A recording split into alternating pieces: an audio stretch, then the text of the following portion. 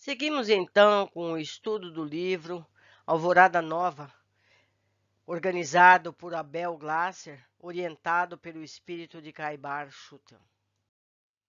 Praça Central A Praça Central de Alvorada Nova está situada no espaço compreendido entre o prédio central e o Recanto da Paz, o Bosque da Natureza Divina e o setor habitacional 2 no seu centro há um imenso obelisco encimado por uma estrela luminosa, circundado por um chafariz. Ao redor, inúmeros bancos e muitas flores é um marco da colônia. Por todas as dependências de Alvorada Nova existem muitas flores e muito verde, tendo em vista que os espíritos que ali vivem, não sendo apegados à massa material, vibram muito com a magnífica criação de Deus, dela podendo desfrutar a todo instante sem prejudicá-la.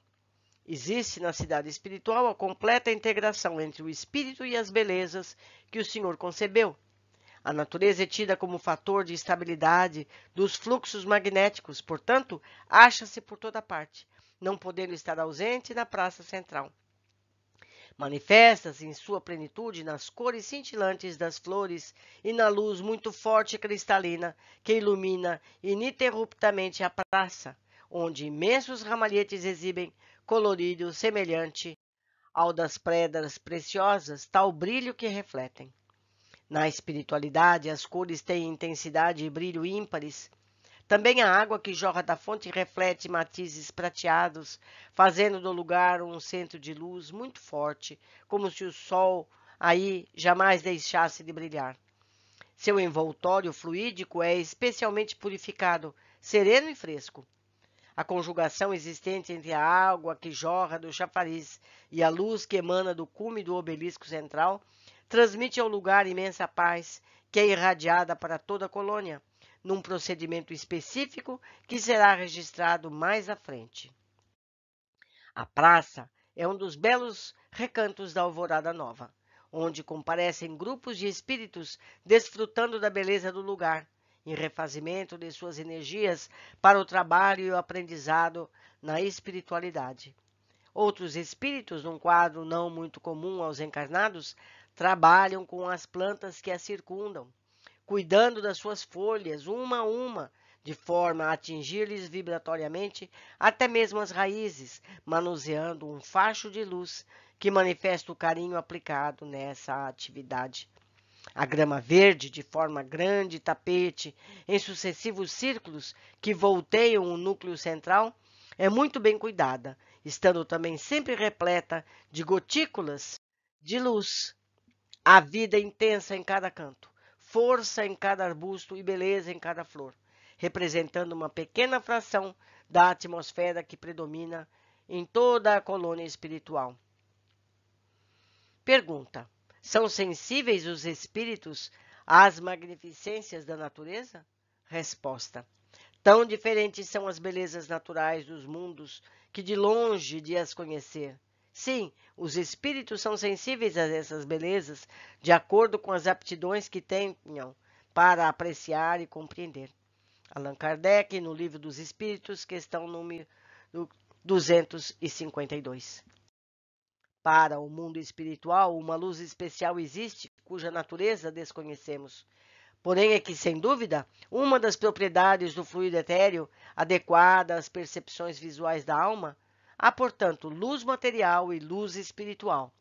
A primeira emana de focos circunscritos aos corpos luminosos. A segunda tem seu foco em toda parte.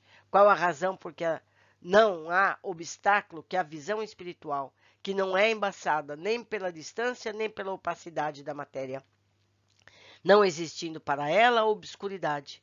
O mundo espiritual é, pois, iluminado pela luz espiritual, que tem seus efeitos próprios, como o mundo material é iluminado pela luz solar. Allan Kardec em A Gênese, capítulo 14, item 24. Torres de defesa e higienização. No aspecto vibratório, o obelisco situado no eixo da Praça Central é o ponto mais importante onde se centralizam a estabilidade e a proteção magnética da colônia. A imensa estrela dourada, que em cima emite fluxos permanentes, visando a total higienização do campo fluídico de Alvorada Nova. Está estrategicamente instalado no lugar de maior intensidade energética da cidade espiritual, mediando o espaço existente entre o recanto da paz e o bosque da natureza divina. Nesse processo higienizante tem início na unidade da divina elevação, cuja emissão de fluxos magnéticos é captada do recanto da paz por uma torre semelhante a uma grande antena de radar denominada unidade de recepção de energia do recanto da paz. Os fluxos magnéticos que chegam aos receptores da base dessa torre são canalizados em seu interior e transmitidos por tubulações à sua cúpula.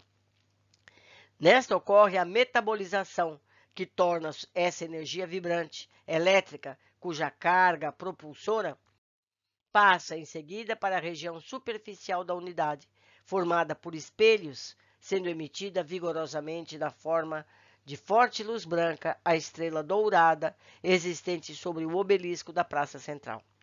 A grande estrela dourada da Praça Central, ao receber o branco influxo energético, gira vertiginosamente sobre o seu eixo à direita, no sentido horário. Depois, girando à esquerda, no sentido anti-horário, retransmite essa energia às torres menores, também de proteção, agora numa coloração intensamente dourada. Assim é um mecanismo que se opera na grande torre da Praça Central. A potente luz branca, portadora da união, de todas as cores e tons, assimilada pela grande estrela dourada, girando à direita, é metabolizada. Girando à esquerda, a estrela emite apenas a luz amarela. As demais luzes de outras tonalidades descem pelo interior do obelisco, caindo sobre uma placa multicolorida, semelhante a uma grade, construída de material metálico similar ao alumínio. Nessa placa, colocada com base no obelisco, as cores se espalham simultânea e subitamente. Vibram em ciclos incessantes, à direita para a esquerda, com muita intensidade, e são impulsionadas para tubulações que circundam o interior da colônia, chegando a todos os seus chafarizes. Dessa forma, cada fluxo de água prateada que sai de um chafariz higieniza o ambiente ao redor com a força da água magnetizada, recebendo todo o influxo vibratório oriundo da unidade de controle de energia que comanda todo o procedimento. Há ainda a higienização conjunta, promovida pela interligação que se faz da emissão da estrela maior para as estrelas das nove torres que volteiam a colônia, apoiadas sobre o seu muro protetor. No local que podemos denominar Casa das Máquinas, essas torres menores, as ondas higienizantes, são metabolizadas e emitidas para as residências dos moradores dos sistemas habitacionais. O muro que protege a Alvorada Nova tem 15 metros de altura. É maciço e emite uma potente vibração magnética de proteção. Em sua parte superior há uma larga passarela, por onde também transitam os habitantes da colônia. Possui ameias nas bordas, onde se pode debruçar e ter uma visão panorâmica da cidade espiritual. As torres de 10 metros de altura, assentadas sobre o um muro, têm a forma cônica e dispõem em sua base de um compartimento quadrado, com uma ponta que lhe dá acesso, havendo em seu interior luminosidade de coloração amarela opaca.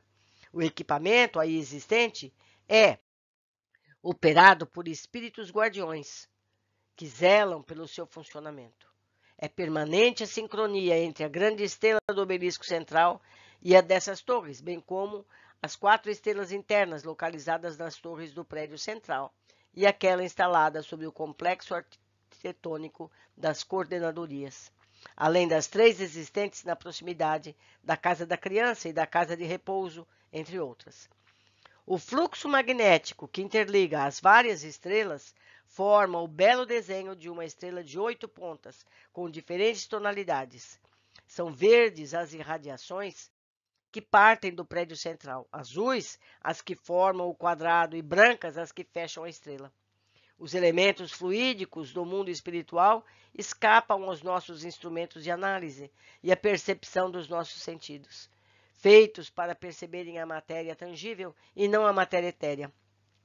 Alguns há, pertencentes a um meio diverso, a tal ponto nosso, que deles só podemos fazer ideia mediante comparações tão imperfeitas como aquelas mediante as quais um cego de nascença procura fazer ideia da teoria das cores.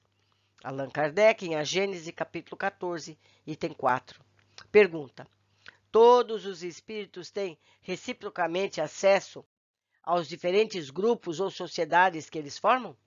Resposta: Os bons vão a toda parte, assim deve ser, para que possam influir sobre os maus.